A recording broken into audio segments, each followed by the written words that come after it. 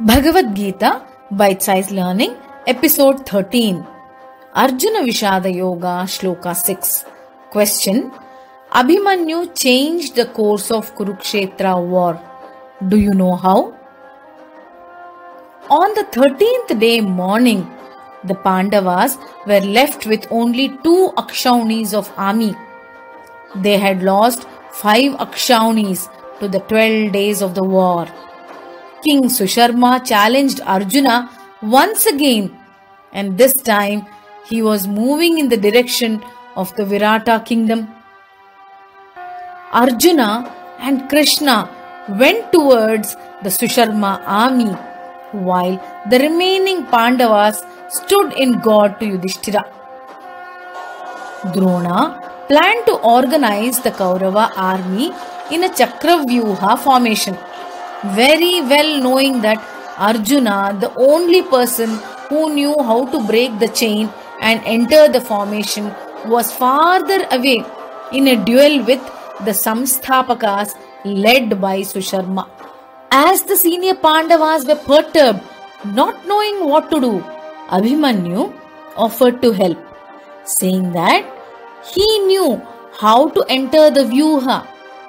All his uncles promised to follow him closely and protect him, as Abhimanyu alone could help them gain entry into the Chakravyuha. Jayadratha put up a strong fight and stopped the four brothers from following Abhimanyu. An overzealous Abhimanyu moved ahead without waiting for his senior supporters and entered the Chakravyuha formation. Yudhishthira, Bhima, Nakula, Sahadeva, and other warriors were only trying to follow Abhimanyu into the Chakravyuha, but alas, that never happened. Abhimanyu alone faced the magnanimous Kaurava army with utmost skill and bravery, while his uncles were grappling in the human chain formation unable to catch up with Abhimanyu. Abhimanyu lacked the knowledge and strategy required to defeat the Chakravyuha battle strategy. He attacked whoever came his way and vanquished many warriors.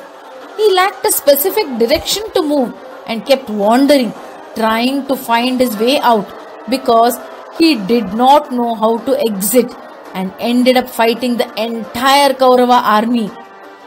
During the course of the battle, he killed approximately 10,000 soldiers, horsemen, and elephant men. He killed more than 20 Maharathis, including Karna's brother and Duryodhana's son.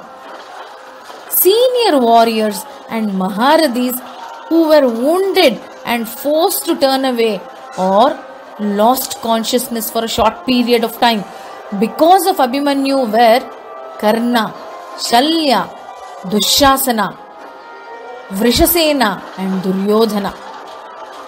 It was evening and the sunlight was slowly diminishing. Duryodhana got petrified as his confidence was severely injured. His dream of winning the war was melting down. He approached Drona and expressed his apprehension. And Drona reiterated, It is impossible to face Abhimanyu as long he has his bow with him and is mounted on his chariot. The hint was enough for Duryodhana, Karna, and Pati.